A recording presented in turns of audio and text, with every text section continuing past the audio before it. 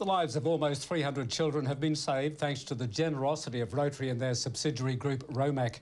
The latest, a young boy named Toti who came from East Timor to have open heart surgery at Allamanda Hospital.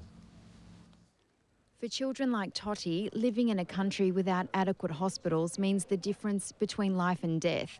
His hole in the heart is not something that would go untreated in most Western countries. If he'd been born in Australia, this would have been picked up very early and he would have had this repaired as a, as a, young, uh, as a very young child. Been a long time wait for this uh, operation and uh, we all feel happy that uh, he came over to Australia. Toti's been living with the problem all of his 17 years. As time goes on, the damage gets worse.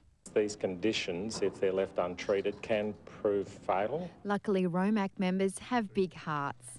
We've taken it upon ourselves to help the children in these particular countries where there are no services available. And that type of surgery can cost anywhere between twenty and thirty-five thousand dollars, but this case was different. Toti struck a chord, and Allamanda stepped in, offering to waive the bill. Now that money will go to saving someone else.